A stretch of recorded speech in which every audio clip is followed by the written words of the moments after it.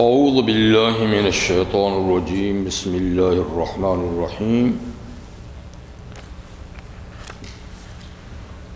वक़ालक़ौलम बिमा ज़लमू फ़हम लायनतिकून अलम यरो अन्ना जालनल्लैलयस्कुनु फ़ीहि वन्नहार मुबसिरा इन फ़ी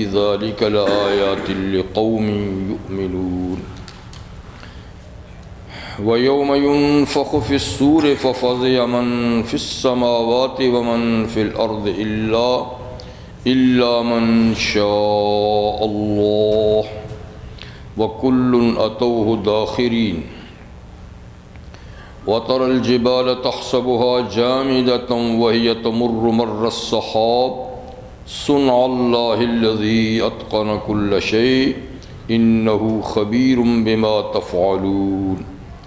तफ़अलून मन जाअ बिलहसनति फलहु खैरुम मिनहा वहुम मिन फ़ज़अ यौमइज़िन आमिनून वमन जा बिसैत फ़कुब्बत वजूहम फिन्नार हल तुजौन इल्ला कुंतुम तामलून इन्नमा उमिरतु अन आबुद रब्ब हाज़िहिल बल्दतिल्लज़ी हर्रमहा वलहु कुल्लु शै वलहु कुल्लु शैइन व उमिरतु अन अकून मिनल मुस्लिमीन। व नतलुवल क़ुरआन। फ़मन इhtदा फ़इन्नमा यहतदी लिनफ्सिह वमन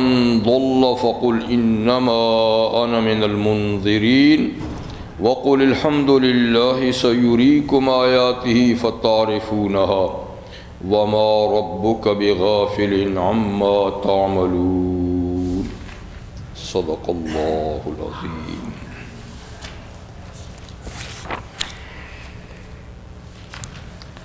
सूरत नमल की आया नंबर छियासी से सूरत के आखिर तक आयात आपके सामने तिलावत की गई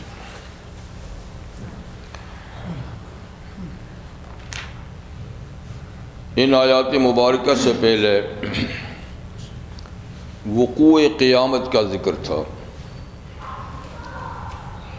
कि वकू क़ियामत से पहले अलामत क़ियामत का ज़हूर होगा, जिसमें एक अलामत होगी दाबतुलर्ज़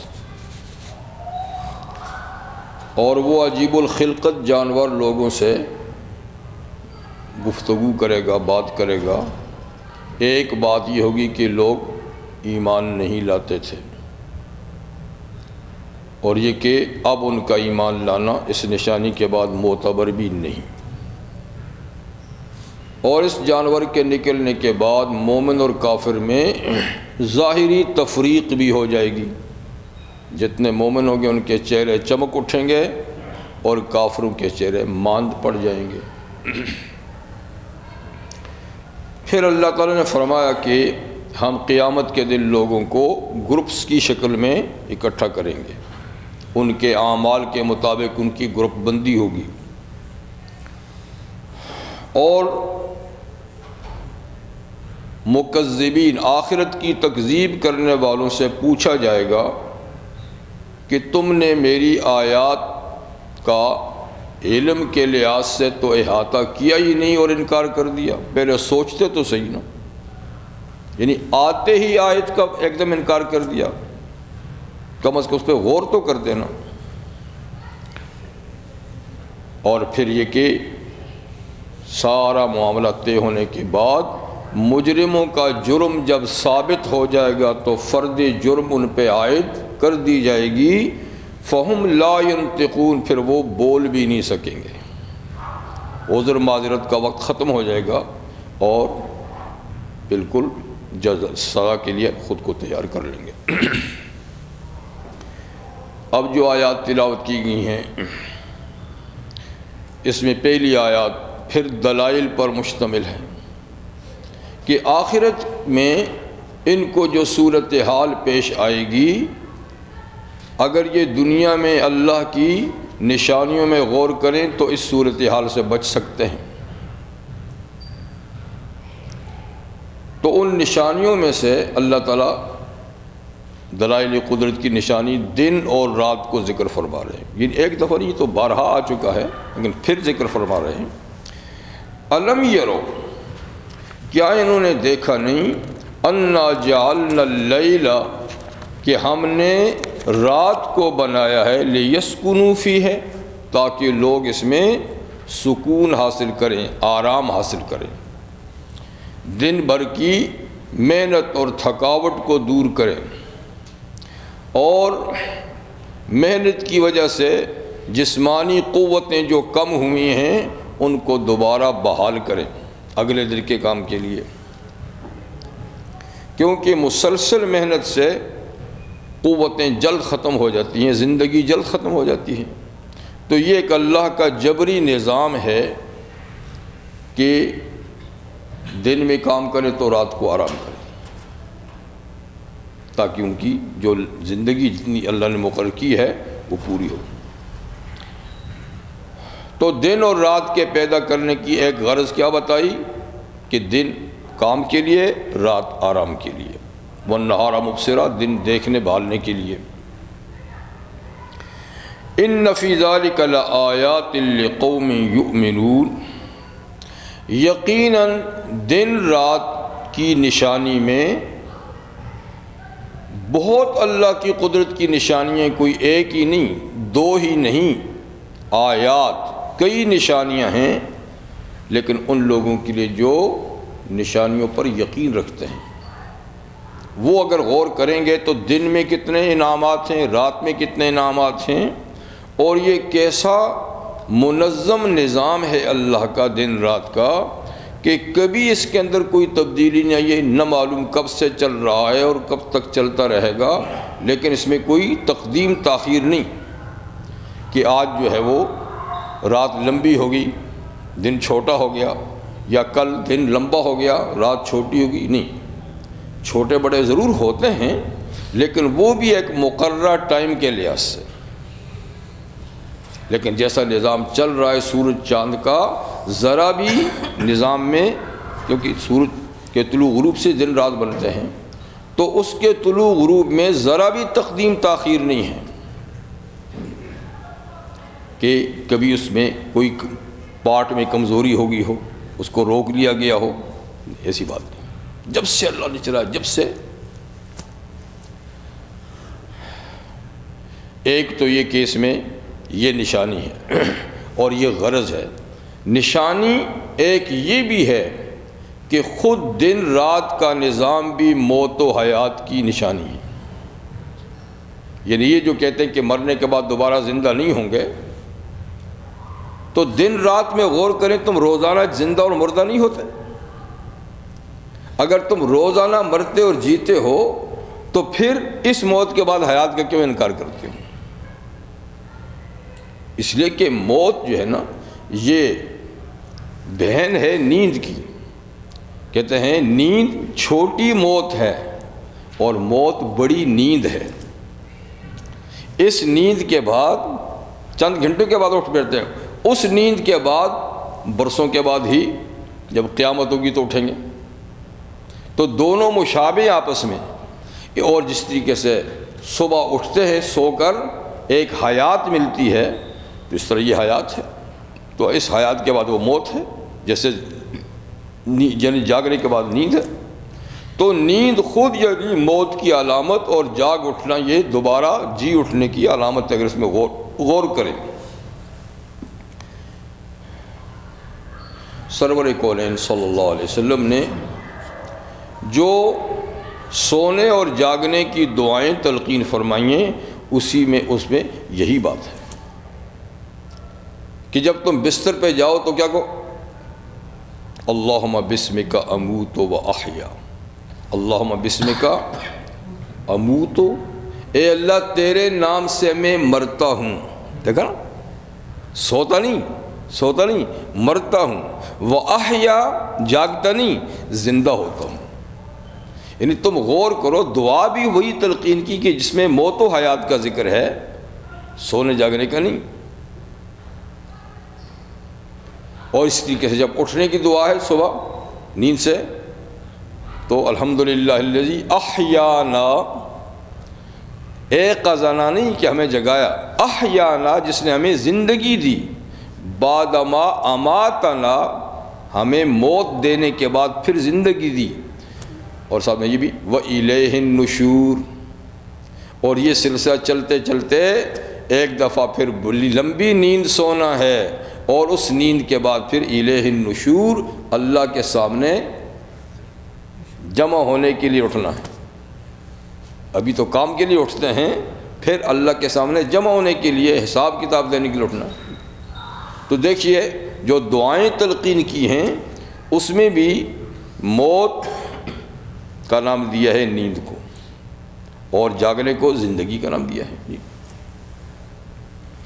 तो बार हल्ला फरमाया कि तुम दिन रात में गौर करो, सोने जागने को देखो तो तुम्हें इस अकीदे पे ये ले आएँगे। अगर तुम गौर करो, इस अकीदे पे ले आएँगे कि मौत के बाद हयात है। अब फिर ये एक दलील ज़िक्र कर दी और अब फिर अल्लाह ताला क़यामत ही का ज़िक्र फरमाते हैं। वयोम फ़खूफ़सूर और उस दिन को याद करो जब सूर में फूंका जाएगा। तो सूर उस सींग का नाम है, उस बंसरी का नाम है, जो एक फ़रिश्ते के मुँह में देकर बिठाया हुआ है। उसकी ड्यूटी अव्वल आखिर सिर्फ़ उसमें दो दफ़ा फूंकना। बस, उस फरिश्ते की ड्यूटी और कुछ नहीं है। दो दफ़ा उसमें फूंक मारनी है। तो वो सूर कोई छोटी सी बंसरी नहीं है, कोई छोटा सा सींग नहीं है। सींग की तरह वो गोल तो ज़रूर है और सींग की तरह उसका एक सिरा पतला और एक सिरा खुला है। जैसे जो जानवर के सर पे होता है, वो खुला होता है। ऊपर से घूम कर वो नोकदार। तो ऐसी है, वो सूर भी ऐसी है। लेकिन वो है कितनी बड़ी? कहते हैं ये सारी दुनिया उसके मुँह में रखी हुई है। जैसे वो बुलबुल नहीं उड़ाते बच्चे, फूंक मारते तो हाँ तो ये एक बुलबुला है जिसको जब वो फूंकेगा, फरिश्ता तो ये सब कुछ उड़ जाएगा। बस।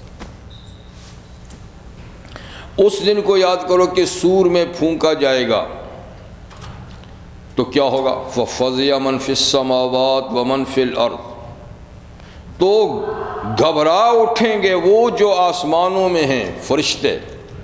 उन पे भी उसकी आवाज़ से एक दश तारी हो जाएगी, घबराहट तैयारी हो जाएगी। और जो ज़मीन में मखलूक उस वक्त होगी, सूर फूंकते वक्त, उन पे भी एक घबराहट तारी होगी। तो शुरू में तो घबराहट तारी हो जाएगी और फिर आहिस्ता आहिस्ता ख़त्म हो जाएगा, ख़त्म हो जाएगा। लेकिन ये सूर दो दफ़ा फूंका जाएगा। एक पहली मरतबा जिसमें घबराएँगे घबरा घबराने के बाद साकित और ख़ामोश हो जाएँगे कायनात का निज़ाम ख़त्म हो जाएगा और जब दूसरी दफ़ा फूंका जाएगा तो फिर सब उठ जाएँगे। इसके दरमियान कितना वक्फ़ा होगा अल्लाह बेहतर जानते हैं काफ़ी वक्फ़ा होगा दो, दोनों के दरमियान। इसको नफ़ा फ़ज़ा भी कहते हैं और नफ़ा साइक भी कहते हैं। साइक का माना मदहोश होना बेहोश होना। तो घबराहट के साथ यानी बेहोशी तारी हो जाएगी और वो ऐसी बेहोशी होगी कि यानी ख़त्म हो जाएगा बस। तो उस दिन के फूका जाएगा सूर में फ़ज़ या मनफ़िसमावत व मनफिल तो घबरा जाएँगे उस आवाज़ से जो आसमानों में हैं और जो ज़मीन में। सब फरिश्तों का भी ख़ात्मा हो जाएगा। यहाँ तक कि सैदुलमलाइका हज़रत जबरील, हज़रत मलकुलमौत हज़रत मेकाईल और फिर ये सबको उड़ाने वाले भी उड़ जाएँगे। इनको अल्लाह ताला ख़ुद ही मौत दे देंगे। जिनके फूंकने से बाकी कायना मरेगी, इनको फिर स्पेशली अल्लाह ताला ख़ुद ही मौत दे देंगे। तो बस एक एक खुदा होगा, कायनात में कोई चीज़ नहीं होगी। उस वक्त अल्लाह ताला ख़ुद फरमाएँगे लेमन मुल्कुल योम आज हुक्मरानी किसकी है? तो कोई जवाब देने वाला होगा ही नहीं। सब दम बखुद होंगे। कोई नहीं होगा। फिर अल्लाह खुद फरमाएँगे लाहिदिलक़हार आज कोई भी नहीं है। कोई दावेदार नहीं है। हुकूमत तो पहले भी अल्लाह ही की थी, लेकिन कुछ लोगों ने दावे कर रखे थे कि ये मेरा और ये तेरा और ये मेरा। आज तो से दम बखुद साकित हैं और कोई जवाब भी नहीं दे दे सकेगा कि ये ए अल्लाह आप ही की खुद ही अल्लाह कहेंगे कि वाहिदुल्क़हार और फिर उसके बाद दोबारा अहिया का सिलसिला शुरू हो जाएगा।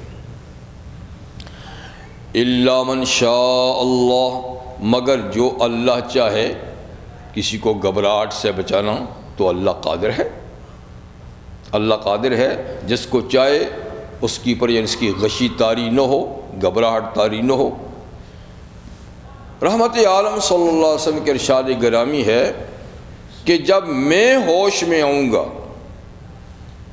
ज़ाहिर बात है कि सबसे पहले हजूरी होश में आएँगे। जब मैं होश में आऊँगा तो देखूँगा कि हज़रत मूसा अर्श का पाया पकड़े हुए खड़े हैं।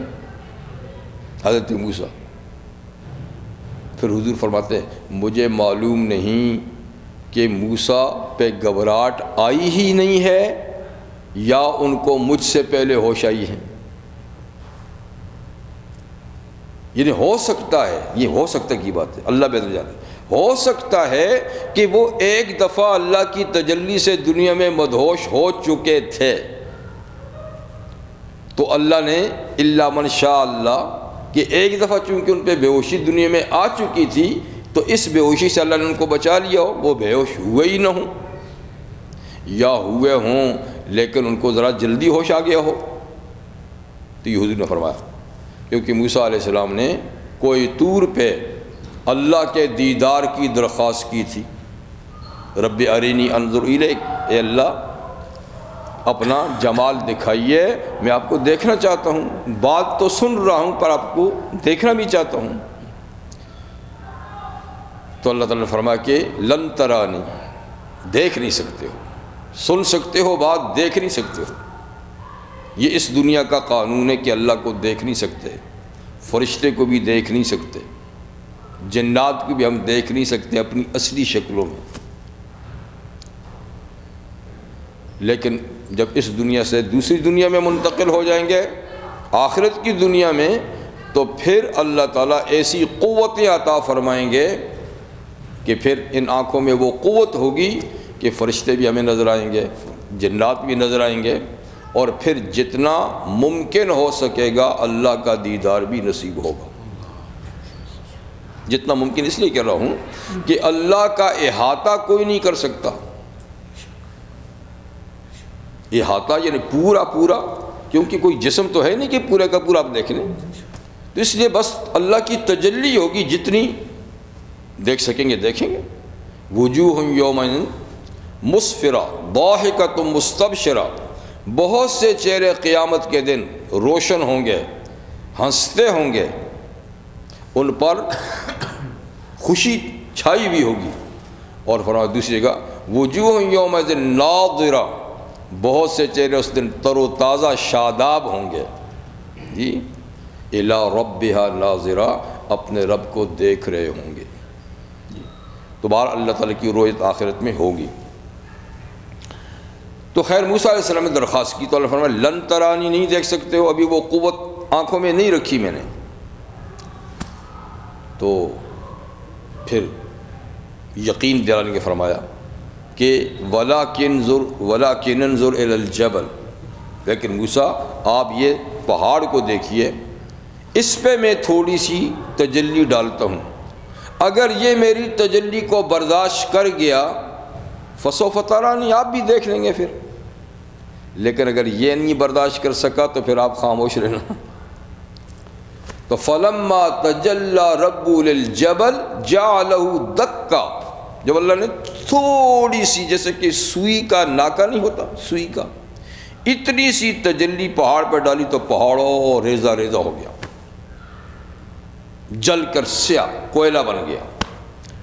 ये मंजर देखती खर्रा मूसा साइका, मूसा आसमाम बेहोश होकर ये मंजर देखे बेहोश होकर गिर पड़े। फलम आफाका फिर जब उनको होश आया, कालो तुब तो इले कवाना वलमसलमिन या अल्लाह मैंने तोबा कर ली इस सवाल से।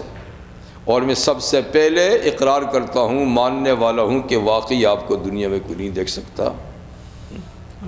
अच्छा। तो मतलब कि ये एक दफ़ा उनको सायक हुआ, एक दफ़ा बेहोश हुए। तो हुजूर ने फरमाया, हो सकता है कि उस बेहोशी के बदले में अब अल्लाह ने उनको सूर फूंकने की बेहोशी से बचाया। हो सकता है। या ये कि थोड़ी देर बेहोश हुए हों और जल्दी उठ खड़े हुए हों। तो खैर ये है इल्ला मनशा जिसे अल्लाह चाहे। वकुल्ल तो दाखिरीन।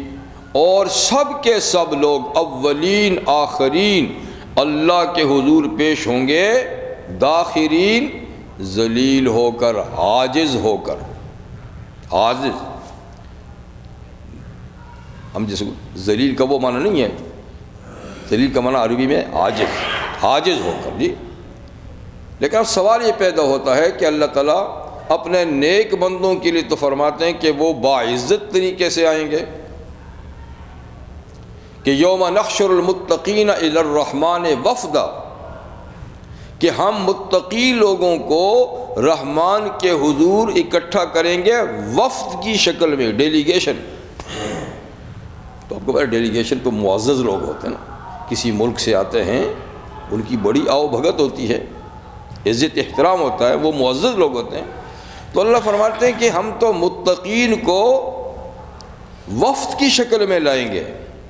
यहाँ है कि वो जलील होकर आएँगे, आजिज़ होकर आएँगे। ठीक। और वहाँ है कि वह नक्शरमजरमिन कैसा है? नक्शरमतमान वफदा, व नसूक़ुलमजरमिन जहन्नम विरदा, और हम मुजरमों को जहन्नम की तरफ़ हाँक कर ले जाएँगे प्यासों की शक्ल में। जैसे कि जानवर को हाँक कर ले जाते पीछे से। जी, और प्यासे भी हों तो उनको इस तरह, इनको वफ्त की शक्ल में। तो यहाँ कि कुल्ल तो दाखिल, सब के सब यानी तो असल बात यह है कि ज़िल्लत दो तरह है। एक है ज़िल्लत मासीत गुनाहों की ज़िल्लत, गुनाहों की वजह से जलील होना। एक है ज़िल्लत उबूदियत बंदगी की ज़िल्लत। बंदगी ये बंदगी जो बंद, बंदा बंदगी करता है तो अल्लाह ताला के सामने आजिज़ होता है ना इंतहाई आजिज़ होता है। ठीक है ना?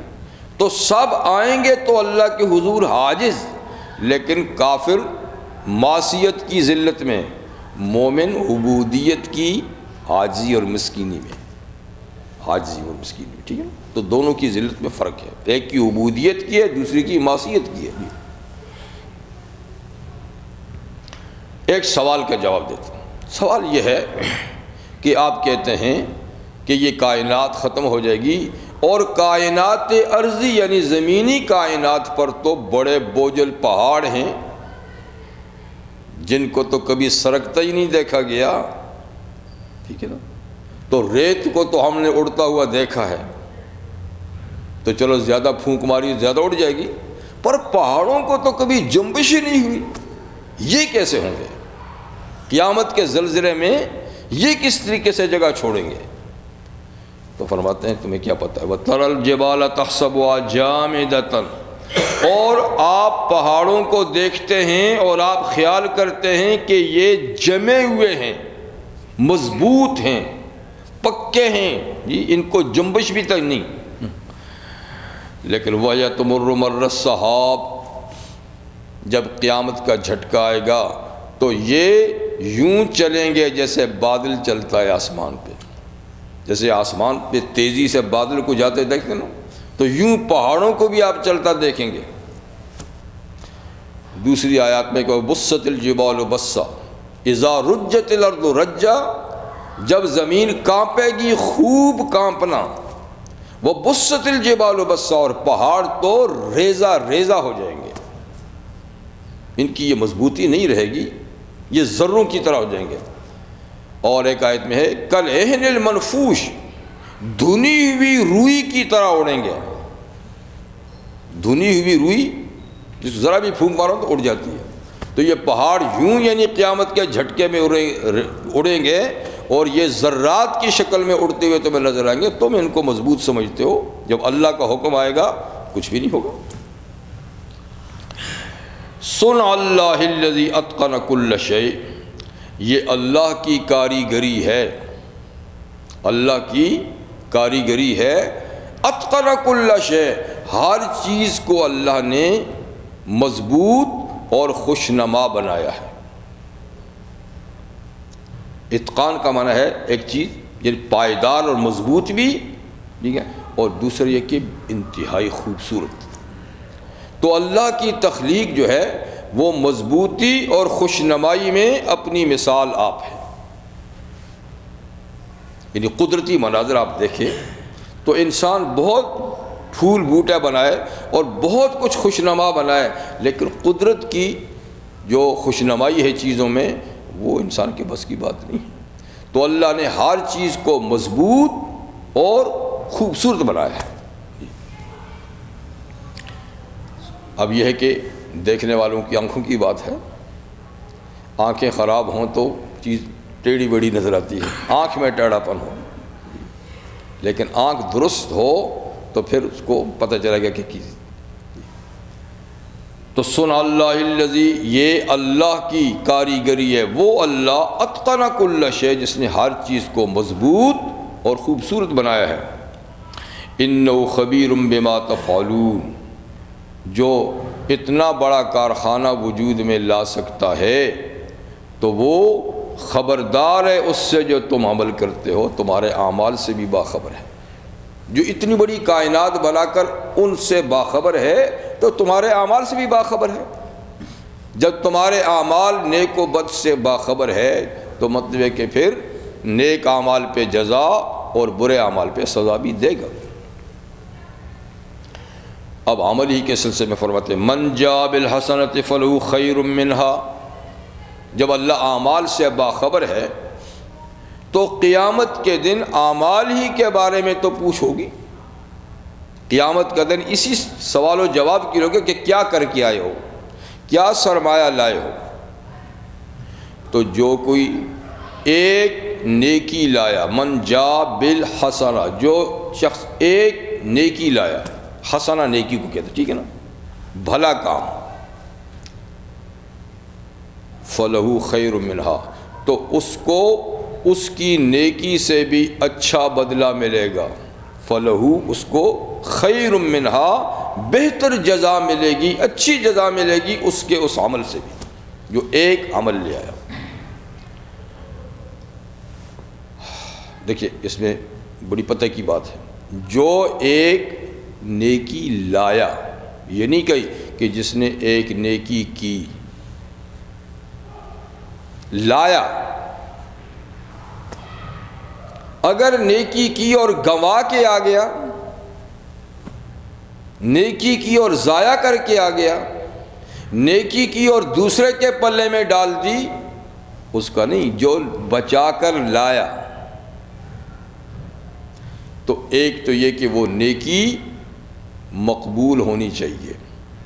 अल्लाह के यहाँ काबिल कबूल। जो नेकी है, पर वो अल्लाह के यहाँ काबिल कबूल नहीं, उसकी कबूलियत की जो शराइ हैं वो शर्तें नहीं पाई गई तो उस नेकी पे भी कुछ नहीं मिलेगा। वो नेकी है। लेकिन नेकी के काबिल कबूल होने की शर्त भी है। जैसे अल्लाह फरमाते हैं मैं यामल में साल हाथ वह मुमिन जिसने नेक काम किए, शर्त यह कि वो मोमिन है। तो इसका मतलब है कि काफिर ने नेक काम किए तो वो काबिल कबूल नहीं है। तो शर्त शर्त कबूलियत क्या है? ईमान। तो जिसका ईमान और अकीदा ठीक है, उसकी नेकी काबिल कबूल होगी। और जिसका ईमान नहीं है, उसकी नेकी काबिल कबूल नहीं होगी। वो दिखाएँगे ज़रूर अल्लाह ताला कि ये ये तूने अच्छे काम किए लेकिन चूँकि ईमान नहीं था, इसलिए इस पर कोई जजा नहीं मिलेगी। ठीक है? एक तो शर्त किया कि वो ईमान की बुनियाद पर हो। ईमान वो छः चीज़ों का नाम है, या उसके, उनके मुतक़ात ईमान बिल्ला, ईमान बिल रसुल, ईमान बिल कुतुब ईमान बिल कदर, ईमान बिल मलाइका सब, ईमान बिल आखिर।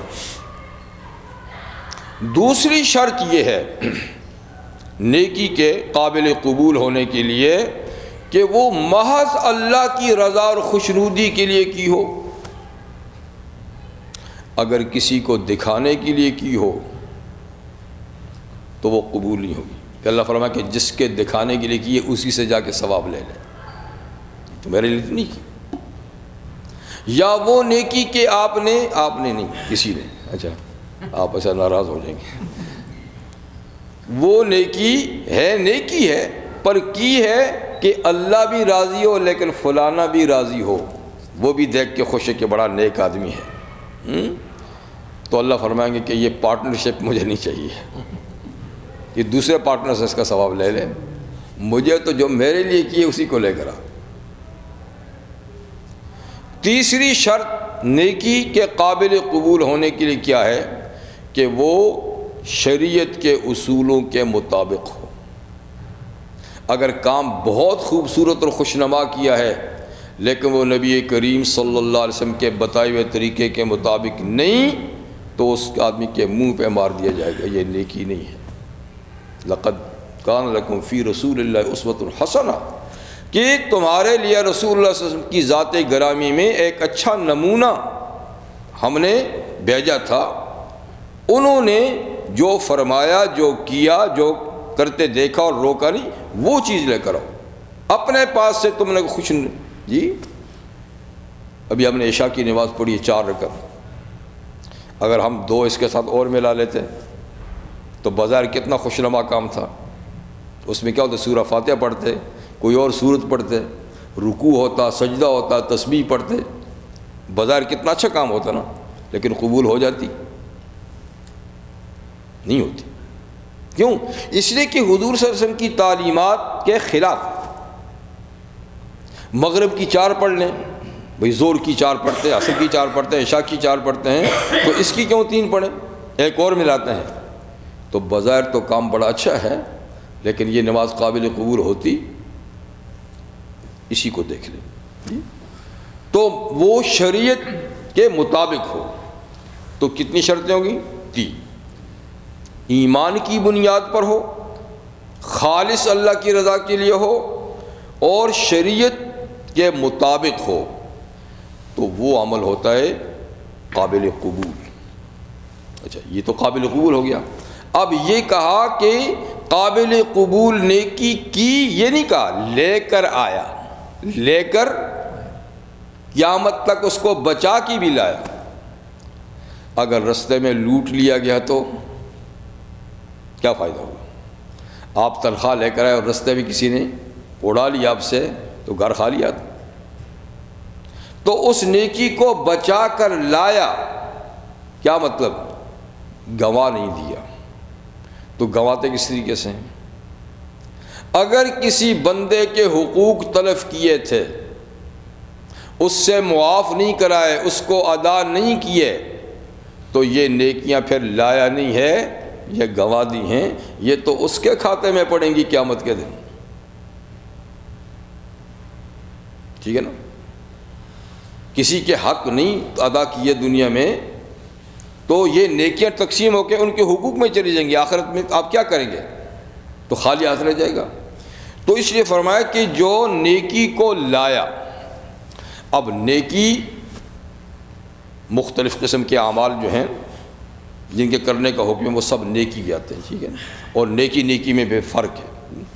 तो जो नेकी लाया, फ़लहू खैर मिनहा, उसको अल्लाह के यहाँ से, उस नेकी से भी अच्छी जजा मिलेगी। यहाँ ये सवाल पैदा होता है कि नेकी से जजा कैसे अच्छी हो सकती है? नेकी भी तो अल्लाह के हुक्म से होती है। अब नमाज़ से अच्छी चीज़ क्या हो सकती है? रोज़े से अच्छी चीज़ क्या हो सकती है? तिलावत से अल्लाह के ज़िक्र से अच्छी चीज़ क्या हो सकती है? जी। मतलब कि ये तो सबसे अच्छी चीज़ अल्लाह अल्लाह ताला के हुक्म है। तो असल में बात यह है कि बेशक ये नेकियाँ ऐसी हैं कि इसका, इससे तो कोई अच्छी चीज़ हो ही नहीं सकती है। लेकिन ये अच्छी होना जो है, ये करने वाले के एतबार से है। तो नमाज़ बहुत अच्छी नेकी है, बहुत अच्छा काम है, लेकिन करने वाले हम हैं। और जन्नत की नेमतें, खाने, मशरूबात, महल्लात, बागात, नहरें, और ये वो जितनी चीज़ें होंगी, ठीक है, वो देने वाला कौन है? तो करने और देने वाले के लिहाज से, चूँकि वो नेमतें देने वाले अल्लाह हैं, इसलिए वो खैर हैं उन अमल से जो करने वाले हम हैं। अपनी ज़ात में तो ये अमल बहुत बुलंद हैं, लेकिन करने वाले हम हैं। तो हमारे लिहाज से ये उन नेमतों से खैर नहीं है जो देने वाले अल्लाह हैं।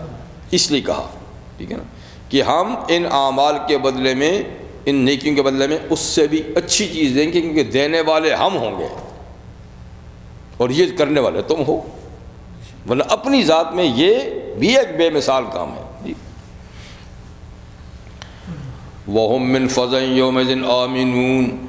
और ये लोग जो नेकी लेकर आए, जी, नेकी बचा कर लेकर आए तो ये उस दिन की घबराहट से अमन में अमन में होंगे। उस दिन की घबराहट से अमन में होंगे। क्योंकि जब दोबारा नफ़ा फूका जाएगा ना, जब उठेंगे अचानक तो सख्त घबराहट होगी। क़्यामत सख्त घबराहट होगी। होश उड़ जाएँगे लोगों को, क़्यामत जब वो यानी दोबारा उठेंगे तो। एक तो ना, पहली क़्यामत बपा होने की, उस वक्त सारे तो नहीं होंगे ना। लेकिन जब दोबारा उठने की फूकी जाएगी तो सब उठेंगे और वो तो पहले घबराहट होगी, फिर घबराहट के बाद आहिस्ता आहिस्ता वो घबराहट ख़त्म हो जाएगी। तो फरमा कि मोमिन पर घबराहट न होगी। न होने का मतलब कि इन पर बहुत कम होगी और उसके बाद ख़त्म। और दूसरे देर तक घबराहट में रहेंगे। मोमिन सिर्फ़ वो जो झटका लगेगा ना उठने का, इतनी इतनी परेशानी थी फिर वो अमन में होंगे। जैसे कि एक हदीस में फरमा कि जिसने दुनिया में खुलूस दिल से ला इल्लल्लाह कहा तो उस पर कोई घबराहट न होगी। यानी सिर्फ़ एक झटके वाली घबराहट होगी, बाकी फिर आगे नहीं होगी। फिर आगे फ़ज़ा से अमन में होंगे। वमन जा जाबिसैया और जो बुराई लेकर आया, जो बुराई लेकर आया, यानी वो दुनिया में बुरे काम करता रहा मासीत करता रहा फ़कुब्बत वजूम फिन्नार। तो उसके लिए कानून तो ये है। नेकी का कानून यह कि जजा उस नेकी से बेहतर मिलेगी, लेकिन जबता यह है कि एक नेकी लाया तो दस नेकियों जैसा सवाब मिलेगा, जैसे दूसरी आयत में मन जाब बिल हसरत फ़लू आशर अमसाल। यहाँ का ना कि जजा उससे अच्छी होगी। वहाँ यह कि एक नेकी की जजा दस नेकियों के बराबर होगी। और ये कम से कम दर्जा है, वरना इससे आगे भी सवाब जाएगा। सात सौ नेकियाँ। इससे भी ज़्यादा हो सकती हैं। नेकी के लिहाज से, खलूस के लिहाज से। और ये तो आम नेकियाँ, आम लोगों के लिहाज से हैं। फिर जैसे जैसे जहद और तकवा बढ़ेगा तो नेकी का जो सवाब भी ज़्यादा होगा। जिस तरीके से कि इस उम्मत की नेकियाँ, पिछली उम्मतों की नेकियों के मुकाबले में डबल सवाब रखती हैं। या इस उम्मत के बाद लोगों की नेकियाँ हुजूर ने फरमाया कि वो डबल सवाब रखेंगी। फरमा कि जो अल्लाह के अहकाम भी पूरी करता है, अपने मजाजी मालिक के भी ड्यूटी पूरी देता है, उसको उसके अमल का सवाब डबल दिया जाएगा। यानी वो वो नौकर, वो मुलाजिम, वो ग़ुलाम, ग़ुलामी का दौर तो खैर नहीं है, लेकिन मुलाजिम भी एक तरह ग़ुलामी होता है टाइम का। तो जो अपनी ईमानदारी से ड्यूटी अंजाम देता है और अल्लाह के हक भी पूरा करता है तो उसकी नेकी का सवाब दूसरे लोगों से डबल है। यानी वो एक नमाज़ पढ़ेगा तो दस नमाज़ों नहीं, बीस नमाज़ों का सवाब मिलेगा ठीक है इसी तरीके से हजूर फरमाया कि जिस शख्स के पास, ये भी अब ग़ुलामी का दौर नहीं है, कि जिसके पास बांदी है ख़रीदी हुई औरत है, बांदी, अब तो वो ज़माना नहीं है, उसने उसको तालीम और तरबियत दी और फिर उसको आज़ाद किया और फिर उसको बीवी बना लिया, निकाह किया, उसको भी डबल सवाब मिलेगा। उसने बड़ा बहुत बहुत बड़ा काम किया, जी। और तीसरा फरमाया कि आल किताब का जो शख्स मुसलमान हो जाए, उसको भी नेकी का डबल सवाब मिलेगा। एक अपने पहले मज़हब के मुताबिक, पहले अपने नबी पर ईमान लाने का, फिर हुजूर पर ईमान लाने का। जी? तो देखिए, ये अफराद ये अफराद के लिहाज से है। और फिर फरमाया कि ख़ुद पूरी इस उम्मत का सवाब भी पिछली उम्मतों के अमाल के मुताबिक डबल है। और फिर ये सिलसिला आगे बढ़ता जाता बढ़ता जाता है। फिर ये भी उस ने फरमाया कि जो शख्स जिहाद फ़ी सबील्ला का अमल करता है, जिहाद में, जो अल्लाह की रज़ा के लिए कलमाई हक बुलंद करने के लिए तो उसको एक नेकी का सवाब सात सौ गुना से शुरू होता है। आम लोगों का दस गुना से शुरू होता है तो उसका सात सौ गुना से शुरू होता है, मुजाहिद का। तो देखिए, नेकियों का कितना सवाब बढ़ता है। लेकिन गुनाह के बारे में एक ही उसूल है कि एक गुनाह की सज़ा सज़ा एक ही है। उसको बढ़ाएँगे नहीं। हाँ शिद्दत ज़रूर हो जाएगी। क्योंकि गुनाह गुनाह में भी फ़र्क होता है। आप मस्जिद में गुनाह करें तो वो बार बाज़ार के गुनाह की तरह तो नहीं होगा तो जगह की वजह से, वक्त के लिहाज से अगर कोई गुनाह किसी मुक़दस दिन मुक़दस रात मुक़दस जगह में किया तो उसकी शिद्दत बढ़ जाएगी, सख्ती बढ़ जाएगी, लेकिन उसकी गिनती नहीं बढ़ेगी। एक गुना की सज़ा एक ही होगी, लेकिन शदीद तरीन होगी। दूसरे दूसरे के गुना करने की तो जो एक बुराई लाया, फ़कुब्बत वजूम फिन्नार तो उनके चेहरे उल्टे जहन्नम में डाल दिया जाएँगे। उनको ऊंधा करके जहन्नम में डाल दिया जाएगा। कुब्बत वजूम फिन्नार।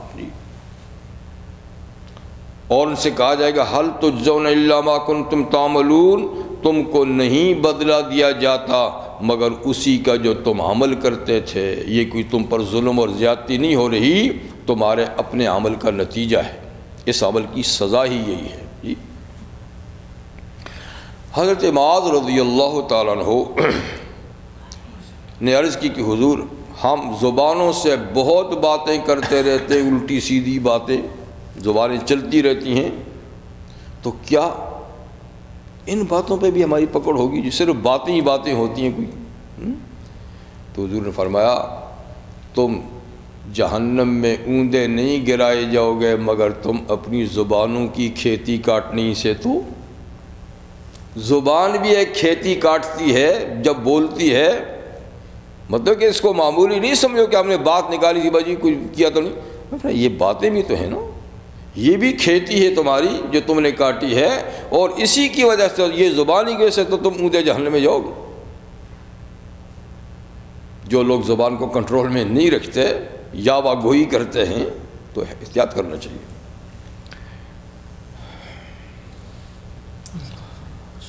इन नमा उमिर तो आबुदर बहाजिल बल्दतिल्लजी हर रमहा रहमत आलम सल्लम इरशाद फरमाते हैं कि आप फरमा दीजिए कि भाई तुम, तुमको तो नेकी बदी का मैंने बता दिया, जजा और सज़ा का बता दिया।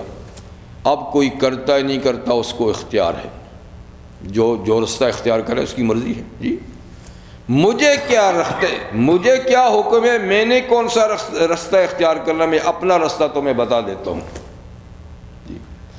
बेशक बात यह है, दूसरी बात नहीं, कि उमिर तो अनाबुदर बहादिल बलदा। मुझे हुक्म दिया गया है कि मैं इबादत करूँ इस शेर मुकर्रम मक्तुलमकरमा के रब की। इस शेर मक्का शेर मक्का का जो रब है, उस रब की इबादत करूँ। मुझे तो इस बात का हुक्म मैं तो इसी पे अमल पैदा रहूँगा, तुम जिसकी चाहो करो फिर। इसलिए कि जजाओ सज़ा तो इस शहर के रब ने देनी है। सो में इबादत इस शहर के रब की करूँगा।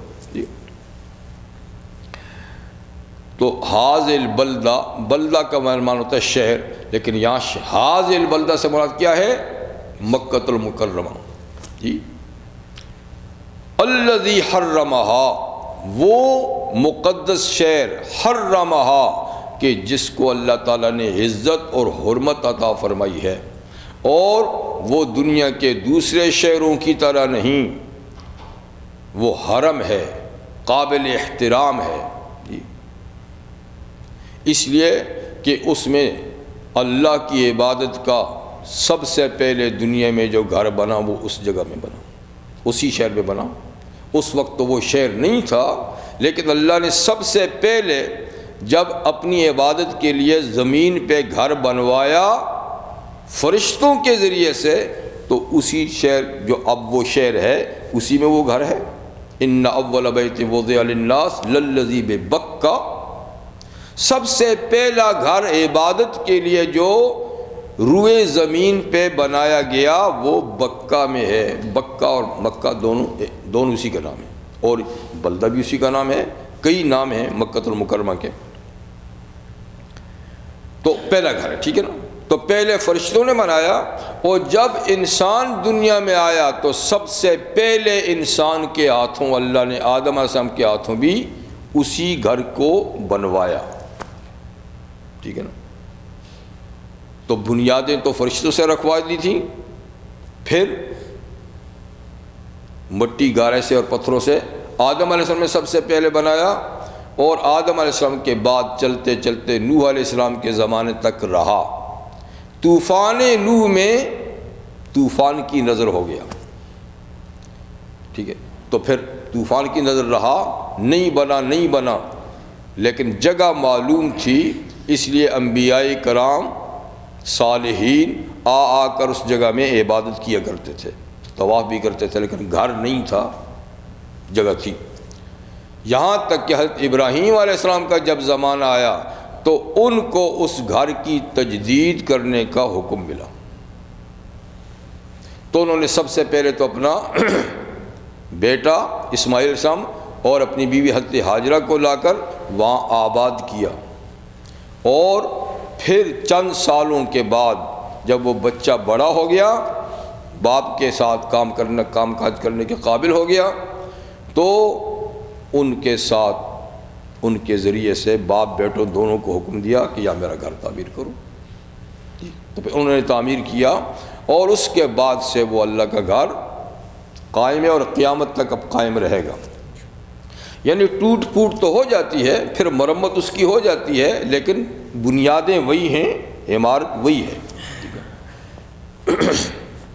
तो ये अब क़्यामत तक रहेगा। हजूर सम फरमाया कि क़ियामत के बिल्कुल करीब एक हबशी आदमी, एक अफ्रीकी की मोटी पंडलियों वाला पस कद वाला आएगा और इसकी ईंट से ईंट बजा देगा, तोड़ तोड़ फोड़ देगा। उससे पहले किसी की ज़रूरत नहीं कि रसाई हासिल करे, ठीक है? इसलिए कि जाल्लाकाबतल बैतल हराम क़ियामन्नास अल्लाह ताला ने काबा, जो इज़्ज़त वाला घर है, उसको लोगों के कायम रहने का ज़रिया बनाया है। तो दुनिया जो रुकी हुई है, दुनिया जो कायम है तो ये बैतुल्लाह की वजह से जब ये घर नहीं रहेगा तो अल्लाह दुनिया की बिसात को लपेट देंगे। और जब तक वो घर है और वो आबाद है तो दुनिया कायम है। लोग समझते हैं कि हम, हमारी वजह से कायम है, हमारी हुकूमतों से कायम है, हमारी दौलत से कायम है, हमारी क़वत से कायम नहीं नहीं। ये उस घर की वजह से कायम है। जी? और उस घर की भी इबादत, जो लोग उसकी इबादत के लिए जाते हैं, वो दुनिया को कायम रखने का ज़रिया है। वो बड़े काबिल एहतराम लोग हैं। क्योंकि वो घर रहे और उसकी इबादत करने वाला ना रहे तो वो भी उजड़ जाएगा। जब उजड़ेगा तो फिर दुनिया भी उजड़ जाएगी। तो मुझे हुक्म दिया गया है कि मैं उस घर के रब की, उस शहर के रब की इबादत करूँ, हर रमहा जिसने उसको इज़्ज़त बख्शी।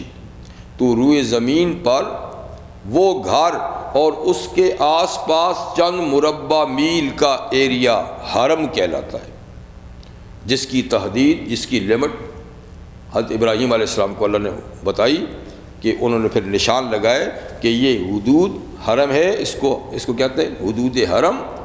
तो उसके लिए कानून ये है कि वहाँ पर उगने वाली घास, खुद उगने वाली, आपकी उगाई भी नहीं, खुद उगने वाली घास नहीं नहीं काट सकते। वहाँ खुद उगने वाला दरख्त भी नहीं काट सकते, झाड़ियाँ वाड़ियाँ जी वहाँ किसी शिकार को नहीं मार सकते। बल्कि उसको अपनी जगह से हटाने की भी इजाज़त नहीं है। जो चीज़ जहाँ है, सो है। हाँ जो दरिंदे वरिंदे हैं, काटते इंसान को उनकी इजाज़त मारने की। और वहाँ गुनाह करने की सज़ा भी सख्त यानी वहाँ जो गुनाह किया जाएगा, उसमें शिद्दत होगी। सख्त उसकी उसकी सज़ा भी सख्त होगी। और ये कि वहाँ गिरी पड़ी चीज़ उठाने की भी इजाज़त नहीं है। हाँ मगर वही आदमी उठाए जो मालिक तक पहुँचा सकता है, वरना उठाने की इजाज़त नहीं है। और मन दखलू का नाम मेरा, जो उस एरिया में दाखिल हो गया, बस वो अमन में हो गया, उसको छेड़ने की भी इजाज़त नहीं है। तो उसके अपने हकूक़ है। हर रमा व लहू कुल्लुश और उसी अल्लाह की हर चीज़ है, हर चीज़ का मालिक वही अल्लाह है जिसने, जिसका वो शहर है, जिसके अंदर उसका घर है। वह उमिर तो नकून मुसलिमीन, और मुझे हुक्म दिया गया है कि मैं अल्लाह के ताबेदार बंदों में रहूँ। सो मुझे तो इस दो दो बातों का हुक्म है। एक तो ये कि पूरी ज़िंदगी में खुदा के ताबेदार हूँ, या मुस्लिम बमाने ताबेदार। जी। और दूसरा ये कि इस शेर के रब की इबादत करूँ, किसी और की इबादत नहीं करूँ। तीसरी, वान अतलवल कुरान मुझे इसका भी हुक्म दिया गया है कि मैं कुरान पढ़ूँ कुरान की तिलावत करूँ। यानी कुरान पढ़ के दूसरों को सुनाऊँ, दूसरों को सिखाऊँ, ठीक है? तो तिलावत दो मकसद के लिए होती है। एक, अपना सवाब हासिल करने के लिए कि मैं पढ़ूँगा तो मुझे सवाब मिलेगा। तो एक हरफ पे हुजूर ने फरमाया कि दस नेकियाँ मिलती हैं तिलावत करने वाले को। चाहे उसका उसका मतलब इसको आता है या नहीं आता, माना आता है या नहीं आता, लेकिन कुरान मजीद जब तिलावत करते हैं तो एक हरफ पे दस नेकियाँ मिलती हैं। तो जो वैसे तिलावत करता है तो अपनी नेकियाँ बढ़ा रहा है। और दूसरी तिलावत है तालीम के लिए। दूसरों को पढ़ के सुनाना, दूसरों को सिखाना। तो नबी करीम आसमाम की असल ड्यूटी थी दूसरों को पढ़ के सुनाना। इसलिए जब भी आप पर वही नाजल होती तो आप जो हज़रत मौजूद थे उनको वही सुनाते थे फिर। और जो याद नहीं कर सकते, उनको लिखवा भी देते थे। तो आपकी तिलावत का मकसद ये ठीक है? अन अतलवल कुरान के मैं कुरान की तिलावत करूँ, यानी तुम लोगों को पढ़ के सुनाऊँ, समझाऊँ, सिखाऊँ। आगे मेरा तो इतना ही काम है। बाकी उस तिलावत से फ़ायदा कौन उठाता है, कौन नहीं उठाता, ये मेरा काम नहीं है। लेकिन पहुँचाना मेरा काम है। ले उन ज़रकुम बी व मम बलग, फरमाया, ताकि मैं इस कुरान हकीम से तुमको डराऊँ और जिन तक इसकी तालीम क़्यामत तक पहुँचेगी, उनको भी। इसी हजूर ख़ातमनबीन हैं। तो हजूर ससम सारे इंसानों के लिए मुनजर है।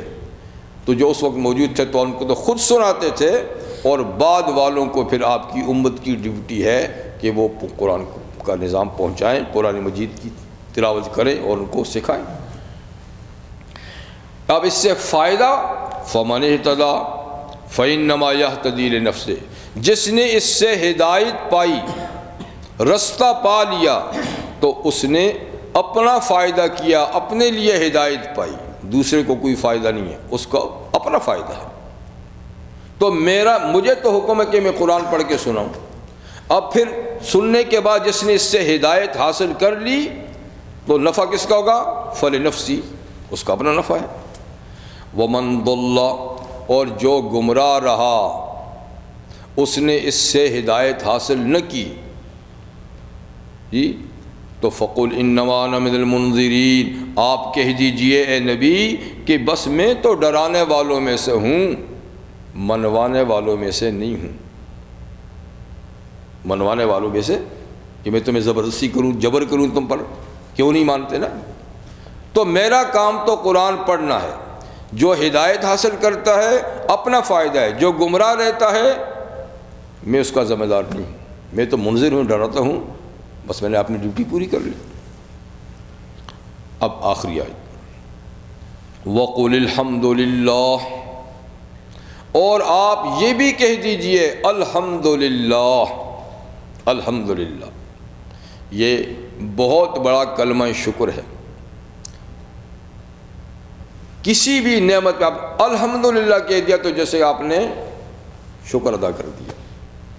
यानी लफ्ज़ शुक्र भी है, अशुक्र और भी कई कलिमात हैं, और भी कई तरीके शुक्र अदा करने के, लेकिन सबसे जाम कलमा शुक्र अदा करने का है अल्हम्दुलिल्लाह। इसीलिए ससम ने हमें हर नेमत के हसूल पर यही दुआ सिखाई है, जब खाना खाओ तो अल्हम्दुलिल्लाहिल्लज़ी अतामना व सकाना। जी, जब नया कपड़ा पहनो अल्हम्दुलिल्लाहिल्लज़ी कसानी हाजा। जिसने मुझे ये कपड़ा पहनाया, अल्हम्दुलिल्लाह। इसी तरीके से हर नेमत पे अल्हम्दुलिल्लाह, ये ज़ुबानी शुक्र है। ठीक। वक़ुलहमदिल्ला कह दीजिए, अल्हम्दुलिल्लाह, सब तारीफ़ें अल्लाह के लिए हैं। सयूरी कुम आयाती ही बहुत जल्द अल्लाह अपनी और निशानियाँ भी दिखाएगा। यानी जो दिखा दी हैं, सो दिखा दी हैं, आगे चलकर और निशानियाँ भी दिखाएगा। सो जो दिखा दी हैं, वो कौन सी? या निशान से मराद क़ियामत की निशानियाँ। तो उसमें नबी करीम आसमाम ख़ुद भी तो क़ियामत की निशानी थे ना, वो दिखा दी। शक्ल कमर का मुआवजा चाँद दो टुकड़े होने का मुआवजा ये भी क़ियामत की निशानी है, सो ये दिखा दी। तो दो निशानियाँ तो देखनी, एक हजूर आसमाम का तशरीफ़ लाना, एक उनके हाथ से चाँद का दो टुकड़े होना। क्योंकि हजूर ने फरमाया आना वस्सा तो कहा तेल बस मैं और क़ियामत तो इन दो उंगलियों की तरह साथ साथ हैं। आगे मैं हूँ, अब इसके बाद क़्यामत है, बीच में और कोई नबी, कोई और शरीयत, कोई और उम्मत नहीं। और दूसरा, इकतरबत सात वन शक्ल कमर, क़ियामत करीब आ गई, चाँद दो टुकड़े हो गया। तो उसको भी खुदा ने कहा, क़्यामत करीब आ गई, निशानी क्या है? चाँद दो टुकड़े हो गया। तो ये तो देखनी, बाकी सयूरी को मायाती ही बाकी निशानियाँ भी तुम्हें जल्दी दिखा देगा। जैसे का ज़िक्र दावतुलर्ज़ वो होगी। और जैसे मैंने पिछली प्रोग्राम में बताया कि और भी निशानियाँ हैं, दज्जाल का निकलना, ईसा इस्लाम का तशरीफ़ लाना, ठीक है ना? सूरज का मगरब से तुलू होना, और यमन से, आदन से आग का निकलना, ज़मीन का तीन जगह में फट जाना बड़े बड़े शगाफ उसके अंदर पड़ जाना तो और याजूज माजूज का निकलना तो ये भी यानी तुम देख लोगे। सयूरी कुम आयाती, जल्द अल्लाह अपनी निशानियाँ दिखाएगा। कुदरत की निशानियाँ हैं, फिर क़्यामत की भी निशानियाँ हैं। फ़तारफ़ूनहा तो तुम उनको फिर पहचान लोगे। मैं तो आज नाम बताता हूँ, तुम अपने अपने वक्त में जब वो निशानियाँ आएँगी तो पहचान लोगे। वमा रब का बेगाफिल तामलून। और अल्लाह तुम्हारे अमाल से बेखबर नहीं है। ये भी याद रखो कि अल्लाह तुम्हारे अमाल से बेखबर नहीं है और एक एक अमल जो है वो गिना जा रहा है, महफूज किया जा रहा है और उसकी जवाबदेही होगी और उस पर सज़ा या जजा मुरतब होगी। ये थी सूर नमल। जो ख़त्म हुई, अल्लाह ताला हमें तोफ़ी ख़ता फ़रमाए कि इसके मजामी और जितनी पिछली सूरतें या आने वाली सूरतें के मजामी पर अल्लाह ताला हमें अमल करने की तोफ़ी क़ता फ़रमाए और जो मकसद है नज़ुल कुरान का, अल्लाह ताला वो हमसे पूरा कराए। व आखिर दावानमदिल्ला रबालमीन इन अगले प्रोग्राम में सूरतुल्क़स शुरू हो जाएगी।